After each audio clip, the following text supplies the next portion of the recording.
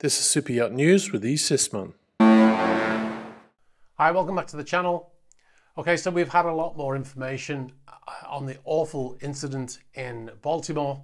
Uh, we're going to talk about the timeline of what seems to have happened on board based on footage filmed live at the time and AIS data, etc., and discuss a, a, question that seems to be coming up. Uh, it, was this an accident or was it deliberate?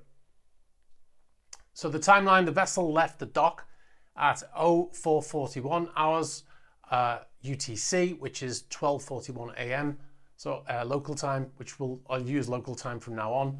Now at uh, 1.24 a.m. Uh, local time, the vessel is traveling at a speed of 8.7 knots. The tugboats have already left the vessel. It was it did have two tugboats to guide the vessel out of the port. They've already left. As it approaches the key bridge, it's doing 8.7 knots, as we said in the previous video.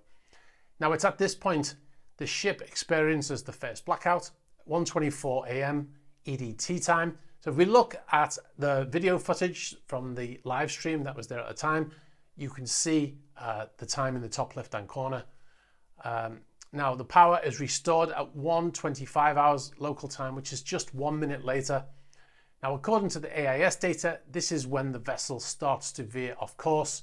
At 1.26 a.m. there is a second blackout. Uh, power is restored at 1.27 a.m., you know, less than a minute later. Um, and at approximately 1.28 a.m., the vessel hits the bridge. It's at this point the bridge starts to collapse.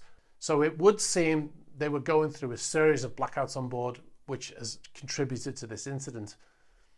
Now the ship also lowered an anchor into the water. Portside anchor is lowered into the water, uh, which will have been to try to bring the vessel to a stop. This is a, you know, a standard procedure for vessels adrift, and the massive vessel would have dragged that anchor along uh, along the, the, the, seabed to uh, to try to stop it, but obviously it didn't um, didn't have any effect or didn't have the desired effect. It could be that the dragging anchor could have been contributed to the vessel going off course. Now there's been a lot of talk on a lot of videos about a plume of black smoke coming from the funnel after the first blackout. This is consistent with the engines being restarted it's normal to get these plumes upon starting engines. Now, according to engineers who've worked on ships like these, when the ship blacks out, the engines would have gone offline and everything on board would have had to have been reset.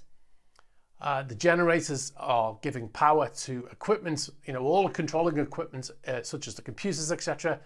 Now you can see uh, the power when it comes back on. That's uh, the generators back online which obviously give them power to the lighting. And then a few seconds later, about 10 seconds later, you see the black smoke as the engines are restarted. So a mayday call was made from the ship before the impact, and this had a massive effect on the incidents, It could have been much, much worse, which we'll go into in a little bit. You guys on the north side, hold all traffic on the Key Bridge. There's a ship approaching. It just lost their steering.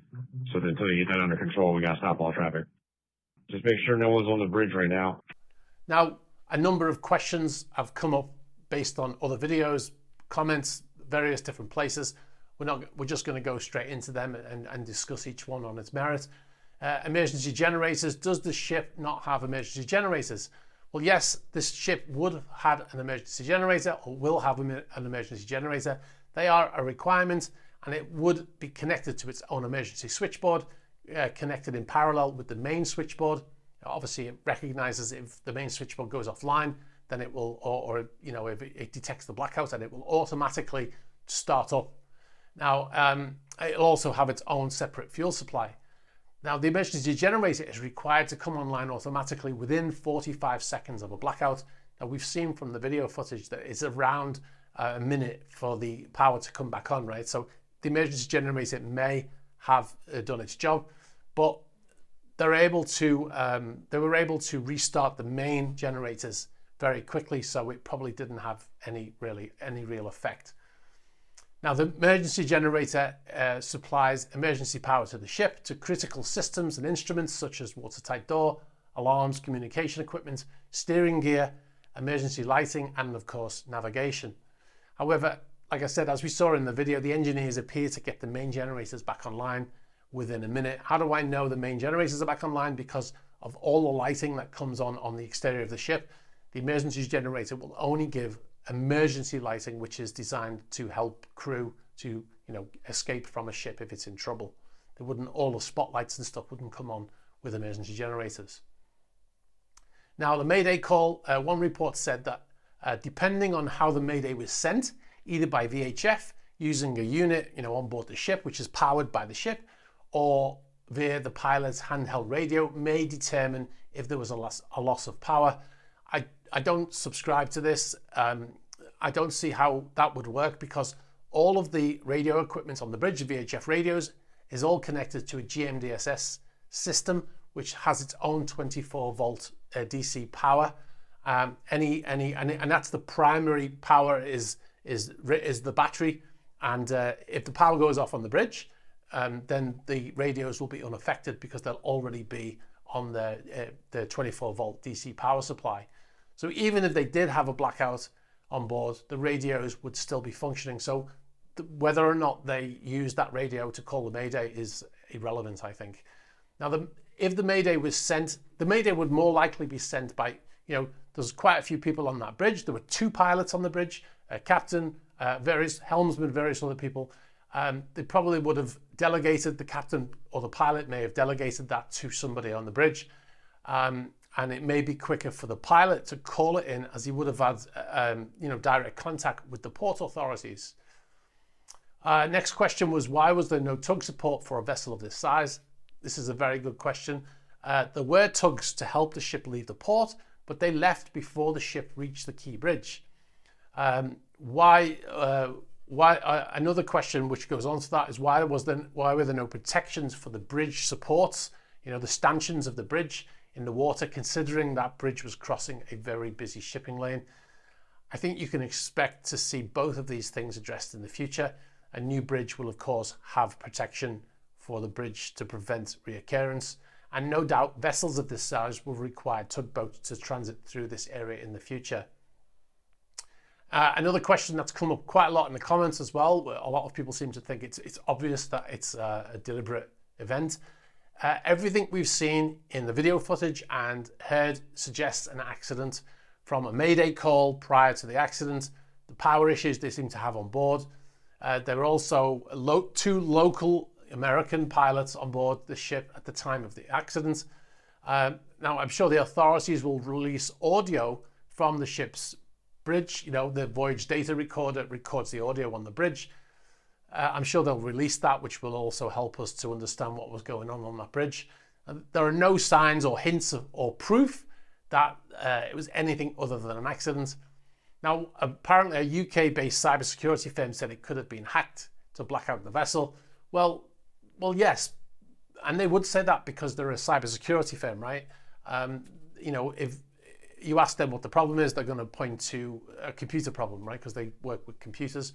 Uh, the ship's bridge controls are not, the ship's integrated bridge is not connected to the internet. Uh, they are standalone LANs, local area networks they're not connected to the internet. In fact, if you do connect one to the internet, it stops functioning or the software will stop functioning on, on that bridge and the vessel's not going anywhere. You know, so if you try to plug it into the internet, uh, it, it's just not going to work. The equipment's not going to work. Now, uh, it could have been a lot worse, right? Uh, the injuries could have been so much worse. The police stopped the road traffic on the Key Bridge in less than 30 seconds once they received the Mayday call from the vessel. That's an amazing response time.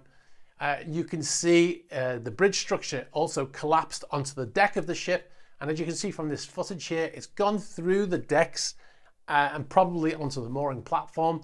Now there would have been crew in those mooring platforms, possibly would uh, could have been crew in there. You know, they dropped that port anchor, uh, which which shows that they were um, there was a crew in there. You can't do it from the bridge; it has to be done locally. So there would have been crew in there in these areas dropping those anchors. So it could have been fatal to the crew on board also. So, you know, it could have been a lot worse. I know it's it's awful for those. There are currently six people uh, still missing, presumed dead now, um, and it is an awful situation. But it could have been so much worse if they hadn't closed that bridge. I mean, you can see in the footage there's a big truck with a, a trailer on the back which crosses over literally a minute before the bridge collapses, and so it could have been so much worse. Anyway, guys, I'm going to leave it there. Thanks for watching, and uh, and I'll I'll catch up with you soon. Bye bye.